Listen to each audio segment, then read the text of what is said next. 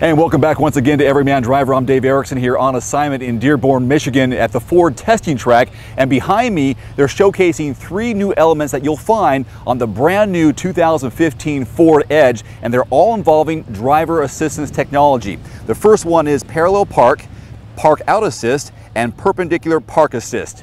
Let's go inside now and see how all three of these work. So if I hit the, the button one time, it's gonna start scanning for a parallel spot. Okay, so I'm going to straighten out here and start driving past the spot and see if it detects it.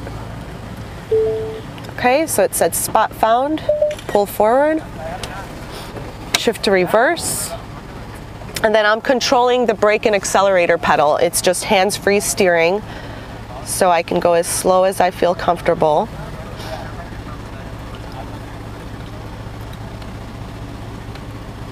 How fast can you really go with this?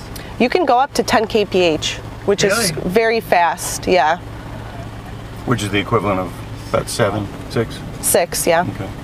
And then I've got my base park aid system here, which shows me um, all of my surroundings and where the chimes are actually coming from. So it helps during active park assist because I get a feel for how close I am to the object.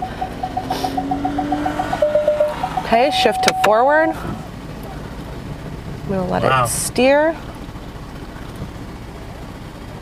You control brake and gas, and it controls the Steering, yes. And gives you all the sensory inputs for distance. Shift to reverse. Try to straighten it out as best as it can. And that's it. Pretty cool. Okay. Okay, so if I hit the button now, I'm in park. It offers park out assist. And in this case, I'm free on both sides, so I can choose using the turn signal which side I want to steer out of. So I'm going to choose the left side. So shift to reverse.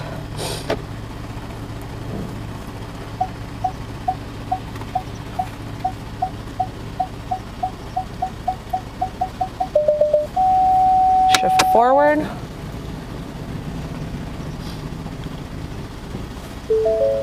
And then as soon as it knows that I'm it steered me in the right direction and I can make it, it says take control of the steering wheel. And then similar to perpendicular, if I hit it once, it's parallel. Perpendicular is twice. It's scanning to the right.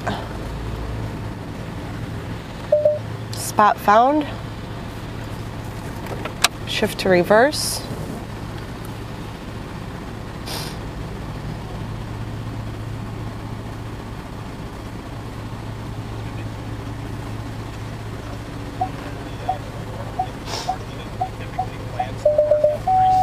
Shift forward. backs goes forward, and then the third time it uh, centers the vehicle. And then in addition, it, it uses the, the additional scan where it looks for the center of the parking space.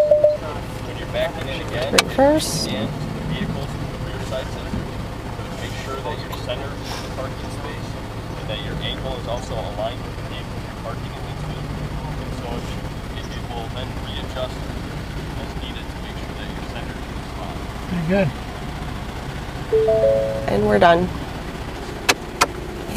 And then now with our base park aid system, we have side coverage as well. So for example, if I'm pulling out here, it's making me aware that I'm getting very close. So if I start steering away, the chimes get less less critical because it knows that I'm steering away from the obstacle.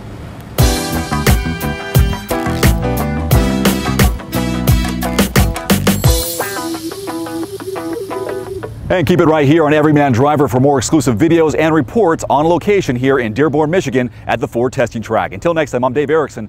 Thanks for watching.